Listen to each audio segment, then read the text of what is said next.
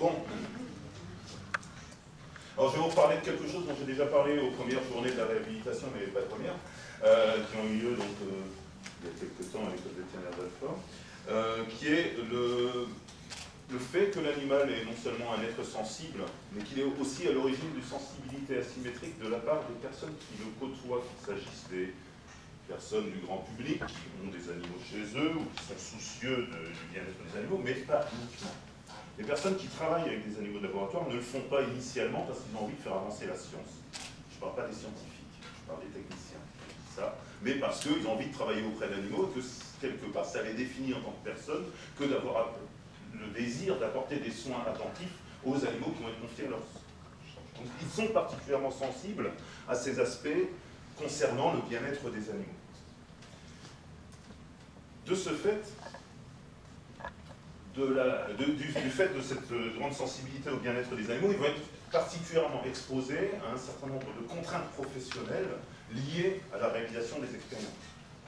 Euh, on pourrait ajouter à ces contraintes professionnelles des contraintes sociétales, parce que lorsqu'on dit qu'on est chercheur, qu'on travaille, euh, je sais pas, à Sanofi Pasteur ou à l'Université de Strasbourg, etc., les gens considèrent que vous allez sauver le monde de maladies extrêmement. Alors on sait bien, en fait, quand on est chercheur, que c'est pas ça, mais en termes d'image sociale, c'est pas forcément euh, un métier qui est mal vu. Mais quand on dit qu'on est technicien d'un niveau de laboratoire, dans l'industrie pharmaceutique, c'est sans doute l'endroit où c'est le pire.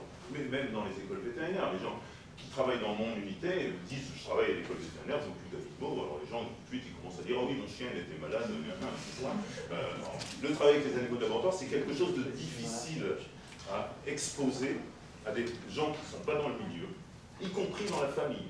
Et cette euh, difficulté euh, de communication, hein, cette presque impossibilité de communication est à l'origine d'un mal-être social par rapport à l'image de la profession. S'ajoute à ça euh, l'histoire de euh, l'histoire de la contrainte euh, expérimentale qui va en fin de compte amener la personne à être à la fois première ligne sur la surveillance du bien-être des animaux, et là je parle des personnels techniques, mais les chercheurs bien souvent ont aussi des rôles techniques qui font qu'eux aussi sont en première ligne. Parce que ce que la directive prévoit, et ce que les textes français transcrivent en droit local, national,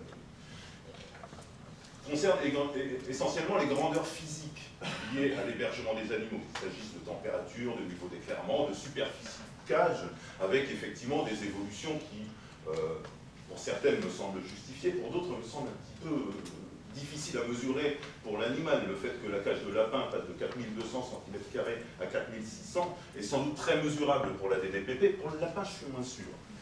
Alors, euh, en revanche, ce que la directive adresse très peu, c'est la façon dont les animaux doivent être euh, protégés du, euh, du mal-être induit au cours des procédures, c'est-à-dire la façon dont la personne va manipuler l'animal, parce que c'est très difficile à mettre dans un texte de loi, de dire qu'un animal, faut lui parler gentiment, qu'il réagit mieux s'il est déjà habitué à être manipulé.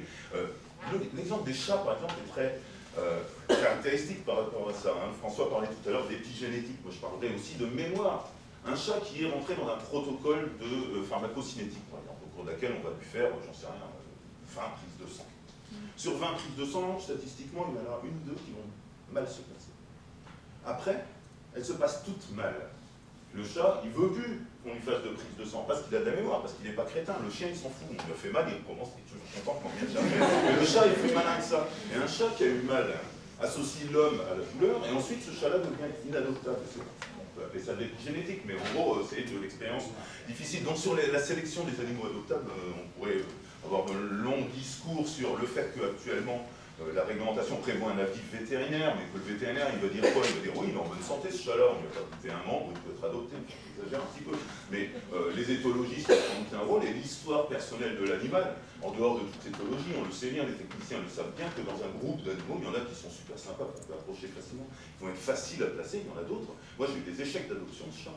Parce que c'est pareil, des adoptions, on en fait depuis 98 à l'école vétérinaire, euh, on a tenté de faire adopter des chats, des chats qui sont rétifs contention par l'homme, ils vont être un peu comme les chatons nés dans la nature. Hein. Là, si vous essayez de les faire adopter, ça fait en général des chatins brés derrière. Euh, c'est pas propre aux animaux de laboratoire. J'aime bien les chats, ceci les miens sont sympas. Euh, voilà. Euh, bon, j'ai dévié de ce que je voulais dire, du coup je suis perdu euh, dans mon histoire.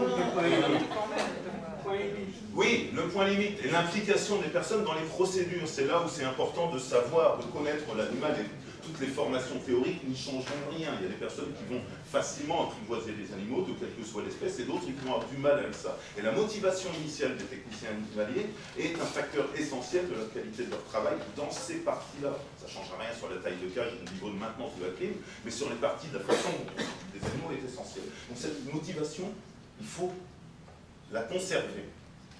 Et c'est là où ça devient difficile. Alors, euh, tout ça après. Hein. J'avais fait des diapositives sur le, décret, etc. Je, reviendrai, euh, je vais discuter pendant longtemps, mais on va parler hors de cette présentation.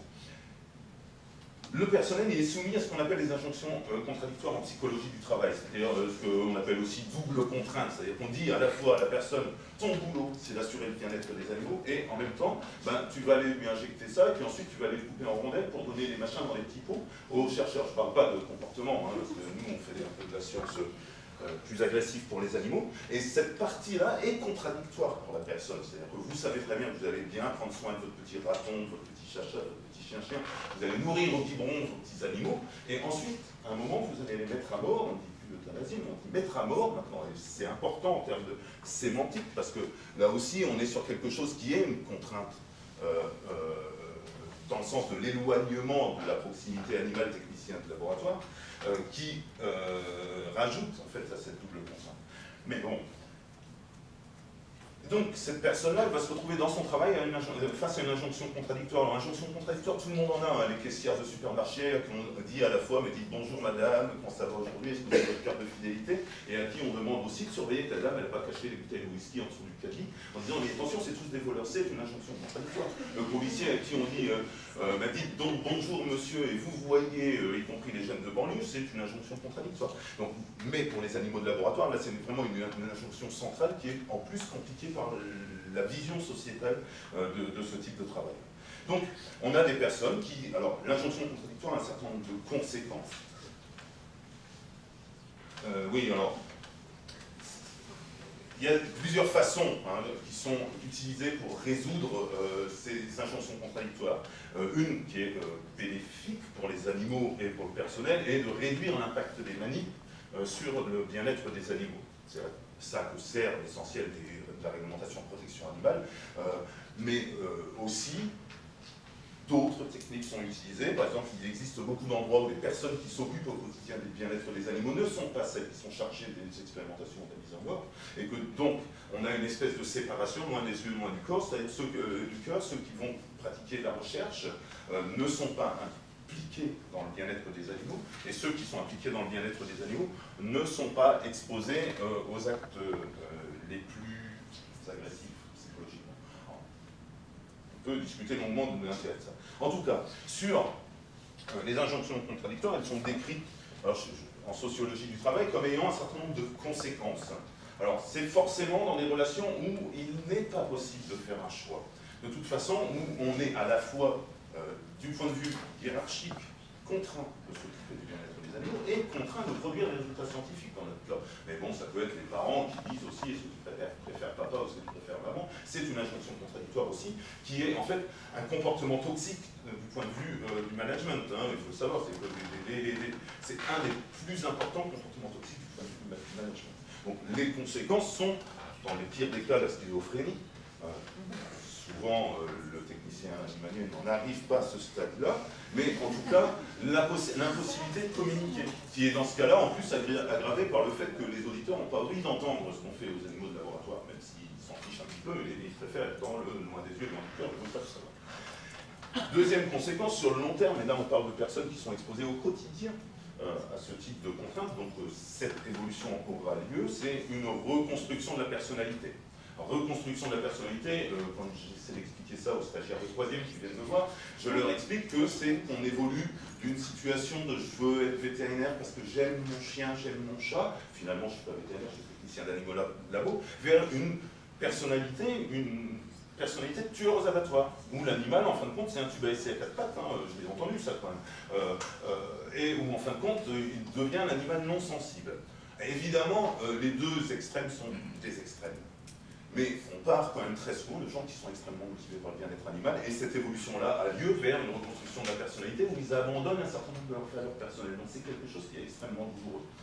Cette chose extrêmement douloureuse est également extrêmement toxique pour le bien-être des animaux, parce qu'il est beaucoup plus facile de préoccuper euh, du bien-être des animaux lorsque c'est une de nos motivations personnelles. Et là euh, où je veux en venir, c'est que cette, ce maintien de motivation des techniciens animaliers est un élément de communication majeur vis-à-vis des structures qui pourraient confier des animaux à l'adoption. Je ne reviens pas sur l'intérêt d'adoption, euh, on a dit que c'était anecdotique. Je suis d'accord, c'est complètement anecdotique. En France, il y a à peu près 30 000 chiens qui sont utilisés en Mali. Il y en a euh, environ, il y en a plusieurs millions qui naissent et qui ne sont pas utilisés comme animaux de compagnie, donc deviennent bien quelque chose. Les trotteurs français, il y en a 25 000 qui naissent tous les ans en France, il y en a à peu près 1000 qui sont utilisés pour autre chose que de devenir des produits alimentaires, non pas pour l'homme, euh, il y a eu des, nombreux scandales, mais les trotteurs ne viennent pas des produits alimentaires pour l'homme, mais pour les animaux de compagnie, les quelques animaux sur lesquels nous, on va pouvoir agir dans la communauté scientifique, c'est quelque chose d'anecdotique. C'est anecdotique, mais c'est important pour le personnel qui est impliqué dedans, parce que ça leur permet de lutter contre ce glissement vers la mentalité de tueur euh, dans les abattoirs, même si c'est anecdotique. J'en connais beaucoup des animaliers qui ont élevé au biberon un petit animal. Et à qui on a dit, c'est pas possible de le faire adopter, il faut le tuer. Alors, il y a des cas où ils sont barrés avec sous. Hein, j'en connais qui les ont ramenés chez eux, qui les ont nourris au biberon, parce que toutes les trois heures, ils ne vont pas dormir au labo non plus, qui les ont ramenés dans le RER, dans un carton, l'agneau, à la maison pour nourrir au biberon. Vous voyez ce que je veux dire? Il y a des gens qui sont vraiment motivés par ces aspects de bien-être aux animaux, et l'implication de l'établissement dans le fait de rendre possible leur placement dans un milieu qui serait mieux que la mise à mort. Et là, on peut effectivement discuter hein, en fonction des espèces, parce que euh, le poulpe, l'adoption du poulpe me paraît quelque chose de plus complexe. Euh, la poule, c'est beaucoup plus simple. Parce que j'ai parlé avec ma DDPP en disant, d'accord, vos programmes de sociabilisation, c'est bien beau, comment je fais pour sociabiliser une poule? Parce que moi, une poule, en gros, je donne des graines, elle fait des œufs, et puis euh, c'est tout. Euh, c'est les relations sociales que j'ai avec les poules, ça s'arrête un peu là. Alors ils m'ont dit, euh, on sait pas. Je dis, bah, quand vous saurez, vous me direz. En tout cas, moment, je vais dire que des programmes de socialisation pour les chiens, pour les poules. J'en bon, voilà. Alors oui, donc la vision sociale, elle, elle était là. Et donc ces histoires de au travail sont à l'origine d'une moindre attention portée aux animaux, à moins de mettre en place des structures contraignantes hiérarchiques avec des procédures et des cases à cocher, genre j'ai regardé si chaque souris avait le poil lisse ou était bourriffé, si elle n'avait pas maigri de 10 ou 20%, euh, etc. Alors il faut imaginer hein, la surveillance sur une population de souris de plusieurs milliers, si vous voulez mettre en place un programme de peser des animaux quotidiennes pour savoir s'ils maigrissent de 10%, le temps de travail que ça présente. Donc je pense qu'il est beaucoup plus important d'avoir du personnel motivé qui va repérer tout de suite ceux qui vont pas bien. pour les souris, euh, on peut discuter. Alors, sur le, euh, les solutions générales sur les aspects de, double contrainte au travail, c'est au travail ou dans la vie personnelle, hein, c'est la mise en perspective. C'est-à-dire le fait d'avoir la connaissance, simplement la connaissance du fait qu'on est vers quelque chose de difficilement soluble. C'est pour ça que j'en parle, j'en ai parlé la première fois, je vois qu'un certain nombre de personnes ont entendu ce que j'ai dit parce que ça revient un petit peu dans les... Je pense que dans la réhabilitation, les aspects de bien-être animaux sont secondaires par rapport aux aspects de bien-être au travail. C'est mon avis. Je pense que ça concerne si peu d'animaux, que ça coûte si cher et que ça leur apporte, on va dire, quelque chose qui, sur le plan du bien-être, n'est pas si évident que ça pour, certaines espèces, ou pour la plupart, que euh, ça devient surtout important pour les personnes impliquées. Et je pense que les personnes impliquées, ce n'est pas ceux du Graal, c'est important pour les gens du Graal, j'en suis très reconnaissant béliers à faire placer, euh, moi trouver un adoptant de bélier qui ne transforme pas en kebab, c'est pas évident. Euh, donc, donc heureusement qu'il y a le Graal, mais ceci dit, c'est surtout important pour mes agents, de mon point de vue. Donc du point de vue de l'établissement utilisateur qui va pouvoir euh, entrer dans un programme d'adoption. Je pense que ce sera euh, aussi présenté peut-être cet après-midi dans cette perspective-là. Donc,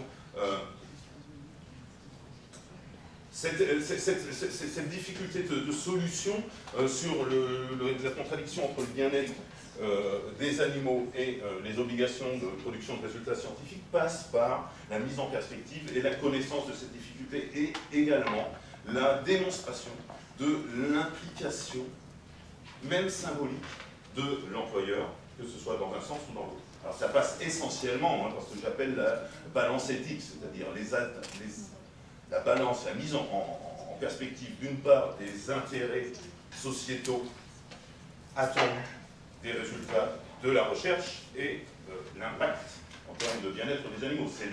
C'est le fond euh, euh, du, maintien de motivation et de la mise en perspective de la contradiction entre la surveillance du bien-être. Mais les actions symboliques du type adoption sont importantes. Alors, je pense qu'il est important, mais ce n'est pas à moi de le faire, je pense que c'est une des missions du GIRCOR, de se mettre d'accord avec les associations sur le type de communication qui peut être établi entre les chercheurs d'une part, la grande population, euh, la, majorité de la population d'autre part, et éventuellement certaines associations de protection animale. Certaines, parce qu'il y en a c'est pas la peine de discuter, ce n'est pas possible. Donc, euh, j'ai fait une magnifique diapositive sur quelques... Ah, ça marchait avant, mais bon, là, non, pas aujourd'hui. Bon, voilà. Euh, c'est pas très important. Mais sur les points de consensus sur la communication, sur, ces points de consensus, c'est on est tous d'accord pour dire que les modèles animaux sont des mauvais modèles de l'homme. Le meilleur modèle de l'homme, c'est l'homme. C'est plus un modèle depuis 1945, la Convention de Helsinki, qui interdit les essais directement sur l'homme sans devoir vérifier euh, sur des animaux l'innocuité et euh, le l'efficacité des, différentes... Alors le fait que ce soit en 1945 n'est pas complètement neutre, je dis ça assez souvent, cette convention indique qu'il n'y a pas d'autres sous-hommes que les animaux. C'est sans doute dommage pour les animaux, mais finalement, d'un point de vue éthique, c'est pas complètement stupide. Alors, je reviens à ce dont parlait, euh, je crois que c'est euh, Hélène, des médecins qui disaient que les patients ou les enfants des crèches sont finalement moins bien logés et euh, taken care of de nos animaux de laboratoire. Il y a des endroits dans le monde où la protection des patients est moins sévère que celle dont bénéficient nos animaux de laboratoire en France. Et il y a des essais cliniques qui, même si c'est illégal euh, du fait de la Convention de Helsinki, se déroulent dans ces pays-là sans avoir fait des essais de, vérification sur les animaux avant. Donc il faut être méfiant sur l'augmentation de la protection animale. Il y a un moment où celle-ci euh, d'autant qu'on euh, arrive ensuite à d'autres types de contradictions du fait qu'il y a des animaux qui sont protégés au titre des animaux de compagnie, d'autres au titre des animaux destinés à reproduire les kebabs, et enfin, euh, d'ailleurs on va aller bientôt manger, j'espère. Et enfin, les animaux de laboratoire. Il y a des contradictions entre ces choses-là qui font que, évidemment, on arrive à des zones de friction. Hein, dans les écoles vétérinaires, notamment, on a les trois catégories d'animaux qui se rencontrent. On a des, trucs, c'est pas très logique. Et ensuite, il y a des problèmes de protection animale versus protection euh, de certaines catégories d'êtres humains moins protégés, on va dire, que les habitants des pays développés de ces Alors, les contraintes liées au placement, alors pourquoi est-ce que les établissements euh, euh, hésitent à rentrer dans le placement Donc moi, ce que je dis simplement, c'est que cet aspect positif en termes de management des personnes est un argument en faveur du placement. Bien-être des animaux, évidemment, en est un autre, mais les causes contre lesquelles il faut lutter qui font que ces établissements hésitent à rentrer là-dedans sont d'une part, je dirais, liés à un coût en personnel, avec une procédure administrative qui, euh, je ne suis pas d'accord avec ce que disait François, euh, elle n'était pas interdite l'adoption avant 1986, elle n'était pas définie d'un point de vue réglementaire, elle était, ce qui était, euh, la seule chose qui était définie, sur lesquelles il y avait des contraintes, était le placement en liberté. Pour le reste, il n'y avait rien dans la loi, donc la DDPP ne pouvait pas s'y opposer. Après, il y a des règles sur machin. Aujourd'hui, il faut une autorisation préfectorale préalable. Alors, c'est pas neutre, ça. Parce que quand on en fait placer beaucoup des animaux à des petits propriétaires euh, individuels dans différents départements, à chaque fois, il faut demander l'autorisation du préfet. Et quid si vous envoyez des animaux se faire socialiser en Belgique? Le préfet de la Belgique, à moins que euh, nous explique comment conquérir la Wallonie, il n'existe pas. Donc, Aujourd'hui, il y a, euh, alors la seule solution réglementaire que je vois aujourd'hui, mais c'est euh, celle-là, elle est, enfin, elle est tordue, c'est qu'il y ait un adoptant français qui obtienne l'autorisation du préfet pour adopter l'animal, et ensuite l'animal, il n'est plus dans un établissement utilisateur, il peut aller où, bon lui semble. des primates qui traversent les frontières, il y a sans doute des réglementations, mais en tout cas, il n'y a plus besoin de cette autorisation préfectorale. En gros, Tomalien adopte le singe de l'école vétérinaire, le chien de l'école vétérinaire, qui demande au préfet du Val-de-Marne avec qui il s'entend bien, et ensuite il donne le chien qui veut. C'est quand même contraire à l'esprit de la réglementation, qui est de mettre en place un contrôle. Euh, donc cette procédure administrative est minimum. Ensuite, il y a un coût en personnel sur la recherche des adoptants. Alors là, heureusement, il y a des associations qui nous aident. Il y a des espèces sur lesquelles il n'est pas difficile de trouver des adoptants. Les, les chiens, c'est pas très difficile. Les poules, c'est très facile. Euh, après, il y a d'autres espèces où ça devient vraiment compliqué. Euh, les chevaux, encore, il y a les vaches, par exemple.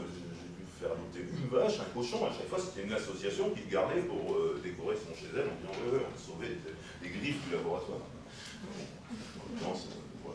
Alors, je pense toutefois que ça, c'est en partie résolu par le fait qu'il est souhaitable que, ces actes d'adoption symboliques demandent un investissement personnel de type militant aux agents impliqués, notamment aux techniciens.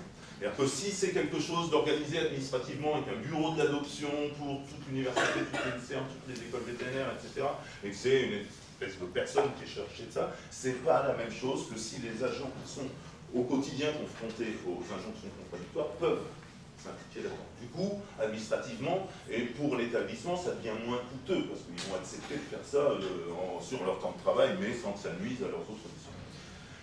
Après, euh, il y a l'histoire de, la voie du Nord, mais pas que de la voie du Nord, parce que ça euh, génère, on va dire, une sorte de euh, possible échappement de la communication institutionnelle au profit d'associations et surtout des membres de ces associations dont le contrôle est plus complexe que ceux des usagers.